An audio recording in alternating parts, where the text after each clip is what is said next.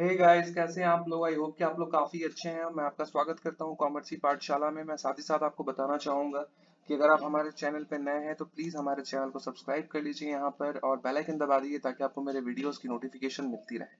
आज का हमारा टॉपिक होने वाला है बाई बैक ऑफ़ शेयर तो बाई बैक ऑफ़ शेयर के बारे में हम बात करेंगे कि बाई बैक ऑफ़ शेयर क्या होता है और ऐसे कौन से कंडीशन हैं जो कि फुलफिल करने पड़ते हैं बिफोर अपने ही शेयर्स को खरीदने के लिए, जिसे हम बाई बैक शेयर कहेंगे।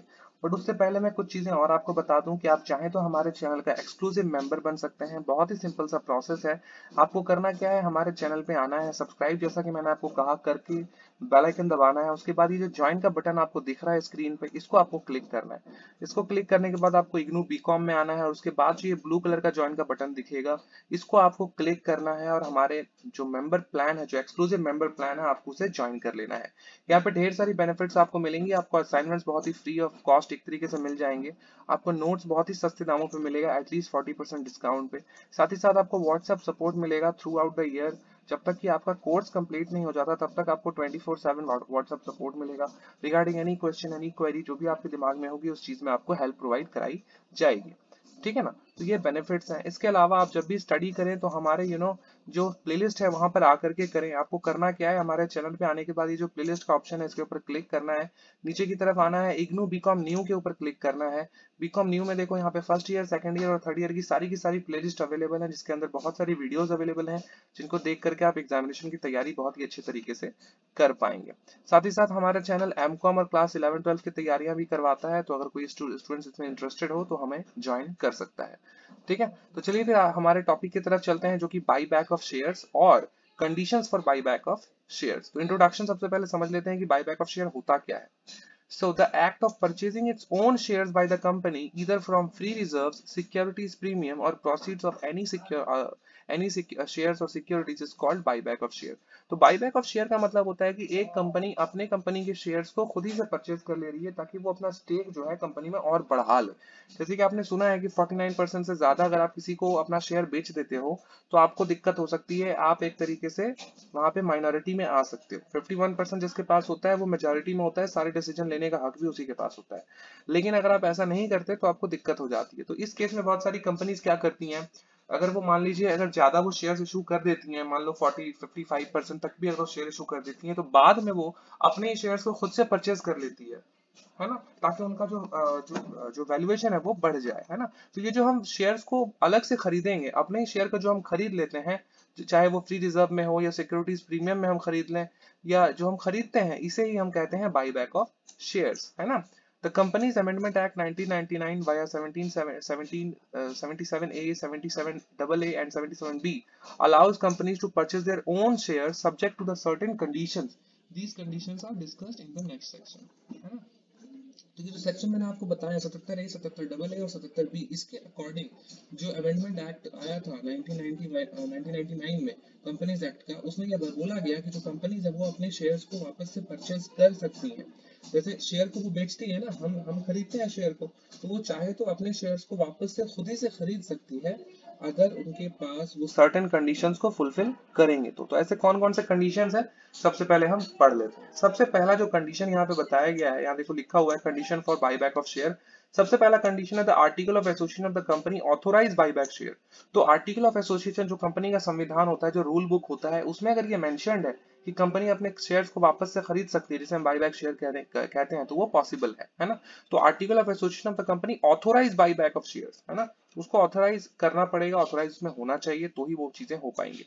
The special resolution is to be pass in the general meeting of the company तो कंपनी की जो जनरल मीटिंग है, उसमें आपको एक स्पेशल रिजोल्यूशन पास करना होगा, जहाँ पे आपको ये बताना होगा अपने इन्वेस्टर्स को कि हम अपने कंपनीज़ को कंपनी के शेयर्स को वापस से खरीद रहे हैं। तो सारे बोर्ड ऑफ़ डायरेक्टर्स अगर उसमें सहमत होंगे तो ही आप खरीद पाएँगे। तो एक स्पेशल रिजोल्यूशन पास करना होता है मीटिंग में।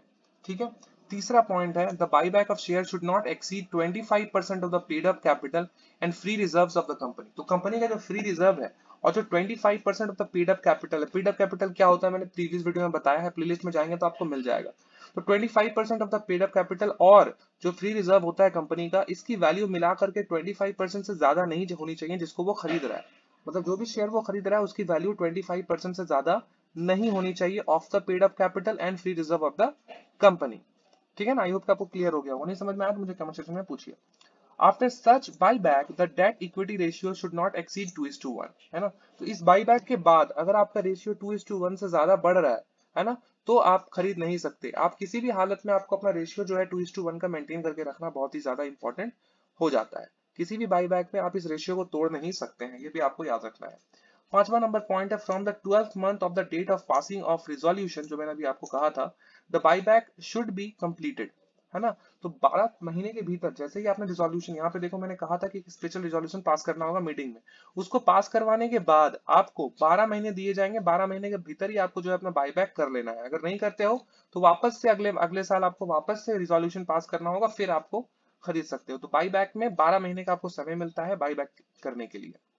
All the buy back share should be fully paid up जो भी बाई बैक शेयर होगा, वो फुल्ली पेड अप होना चाहिए। दस रुपए का अगर वैल्यू है एक शेयर की तो दस रुपए मुझे पूरा चाहिए। ऐसा नहीं कि पाँच रुपया अभी मिला, पाँच रुपया बाद में मिला। तो ये कंपनी जो है आपस में आपस में बोल रहा हूँ कंपनी जो है खरीद सकती है अपने ही शेयर को, लेकिन फुल्ली पेड अप उनको करना होगा राइट सातवां नंबर पॉइंट है declaration of the company should be filed with the registrar of the companies and securities exchange board of india in the form of an affidavit.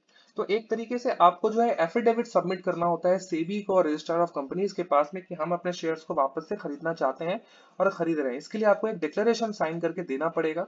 किसको किसको देना होगा? सेबी को देना होगा securities exchange board of India और साथ ही साथ जो रजिस्ट्रार ऑफ़ कंपनीज़ है उनको भी देना होगा in the form of an affidavit आपको एक एफिडेविट में डिक्लेरेशन जो है वो देना है। ऐसा नहीं कि प्लेन पेपर में आपने डिक्लेरेशन दे दिया और हो गया।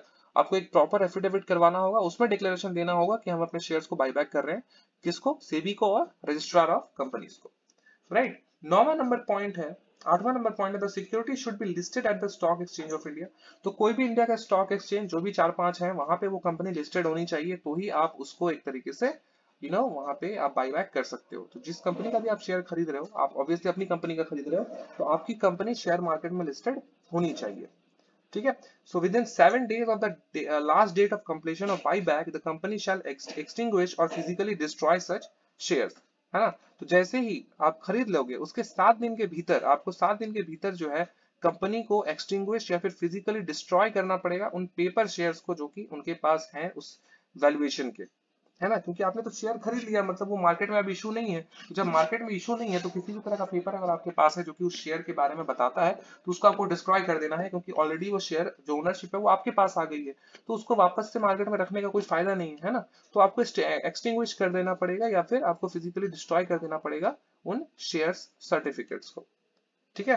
The company shall not make further issue of shares within a period of 24 months. तो आपने जिन शेयर्स को बाई बैक किया है, उसको आप अगले 24 महीने तक के लिए वापस से मार्केट में इशू नहीं कर सकते हैं। Except the issue of bonus share after completing the buy back share लेकिन आप सिर्फ़ बोनस शेयर को एक तरीके से मार्केट में दे सकते हैं लोगों को, लेकिन आप फ्रेश इशू 24 महीने तक आप नहीं कर पाएँगे। आपको अगर करना है तो आप बोनस शेयर इशू कर सकते हैं। ठीक है? The buy back can not be done through a subsidiary or investment company तो बाई बैक जो है वो किसी सब्सिडियरी या फिर इन्वेस्टमेंट कंपनी से नहीं हो सकता, वो आपकी कंपनी ही आपकी शेयर्स को बाय करेगी। कोई और कंपनी कोई सब्सिडियरी कोई इन्वेस्टमेंट कंपनी इस चीज़ को बाय नहीं कर सकती है। ठीक है ना? तो ये 11 पॉइंट्स हैं 11 कंडीशंस जिनको फुलफिल करना इंपॉर्टेंट है जब भी आप बाई बैक शेयर्स की बात करते हैं। आप एग्जामिनेशन में अगर आपसे पूछा जाए तो आप इसको प्लीज़ लिखें, आपको अच्छे मार्क्स मिलेंगे। मिलते हैं अगले वीडियो में, अपना ख्याल रखें। Bye bye thank you